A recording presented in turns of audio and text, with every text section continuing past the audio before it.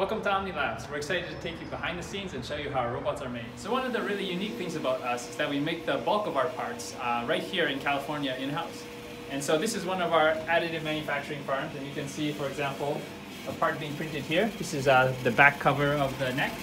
And you can see this filament coming down and getting melted and almost like soft serve being squeezed and uh, uh, sort of built up layer by layer to make the parts with uh, all sorts of geometry. And we print pretty much everything in the robot. You'll see all sorts of small parts. This is around the mounting area for the display. This is part of our drive, our motor drive system, and then part of the more two mounting. This is part of the neck of the robot. Um, and we actually make this process really optimized and as efficient as possible. So we even wrote our own web-based software here to control and sort of manage the entire fleet of printers. And for production, we have two cycles a day, a day and a night cycle. Um, and we, we have these carts that we've designed. These are sort of our Kanban carts. And in these carts, every part has a place. And we know what the print name is and whether it's a day or a night print. So we basically print and fill up these racks and then we send them off to assembly, which is just, you know, 20 feet away. So we started there uh, buying printers and modifying them for 24-7 use. But we actually now are moving to designing and building our own printers.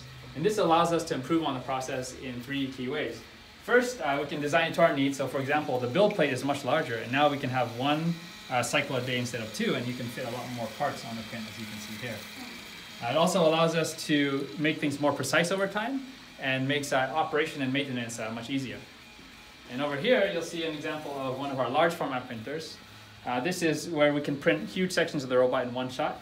It gives us a lot of design flexibility. It allows us to eliminate a lot of assembly steps because we can print such large pieces in one shot.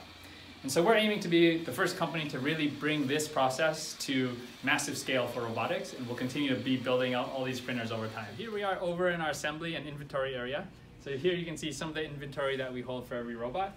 The carts come in from the, the printing clusters, and then uh, over here, for example, are all the PCBs. So this is a brushless motor controller that drives uh, the wheels of the robot. Um, and over here, we have the assembly stations, and we try to optimize all of them for being as lean as possible and as ergonomic as possible. Here we are at the final stage. So these are the fully assembled robots waiting for final QA and delivery. And come back next time and we'll share with you all the cool things we're working on and uh, what else we're adding to the robot.